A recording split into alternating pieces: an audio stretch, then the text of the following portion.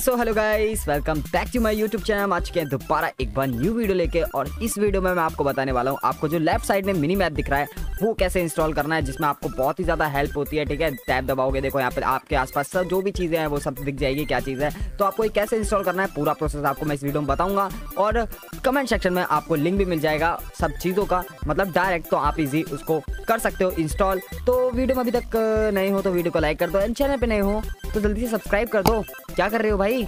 चलो, जल्दी चलते हैं प्रोसेस क्यों लेस गो तो गाइज़ मैं आ चुका हूँ अपने डेस्कटॉप की स्क्रीन पर एंड ऑलरेडी मैंने यहाँ पर ये तीनों लिंक खोल रखे हैं, ठीक है? तो फ़र्स्ट वाला जो लिंक है आपका फैब्रिक का है, वो आपको सिंपली यहाँ पर डाउनलोड कर लेना है, मेरा ऑलरेडी डाउनलोड है, ठीक है? यहाँ पर आप करोगे एंड इसका एक चीज़ याद रखना, आपको यूनिवर्सल जार करना है डाउनलोड फॉर विंडो नहीं करना है, ठीक है? जार पर आपको क्लिक कर देना है एंड इसको किप कर देना है एंड ये इंस्टॉल हो जाएगा देन सेकंड पे आना है, फिर आपको ये करना है एंड इस चीज़ में हमेशा एक चीज़ याद रखना, जो बहुत ज़्यादा इंपॉर्टेंट है, ठीक है? ये वाला और ये वाला, इसको आपको इन दोनों को सेम वर्जन का करना है, ठीक है? तो हम इस पर ऑल वर्जन पे क्लिक करते हैं। हम रिलीज़ वाला तो नहीं करेंगे, हम करेंगे 1.20.1 ठीक है?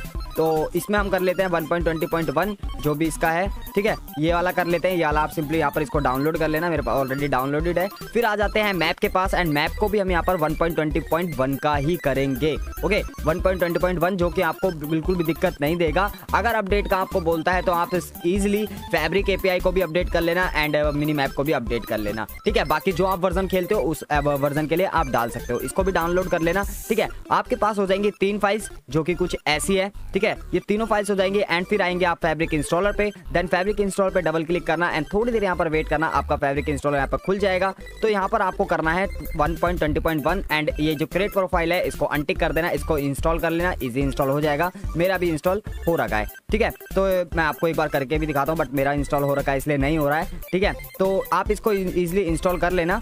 ठीक है? देन उसके बाद आपके पास बचेंगी दो ये वाली फाइल्स तो इनको आपको क्या करना है? आपको सिंपली यहाँ पर खोलना है T launcher and T launcher open file location पे जाना है। देन उसके बाद आपको जाना है यहाँ पर मोड्स hmm, में। तो मैं यहाँ पर पूरा कर देता हूँ स्क्रीन जब आपको दिखेगा। ओके मोड्स में देखो मेरा यहाँ पर ऑलरेडी डाल रखा है। ठीक है? तो यहाँ पर ही सिंपल आपको ऐसे करना है एंड यहाँ पर इसको ड्रैग एंड ड्रॉप भी कर सकते हो। एक आपको यहाँ पर मिनी मैप को सिलेक्ट कर लेना है एक इसको कर लेना है एंड यहाँ पर इसको आप ड्रैग एंड ड्रॉप कर दो। ठीक है?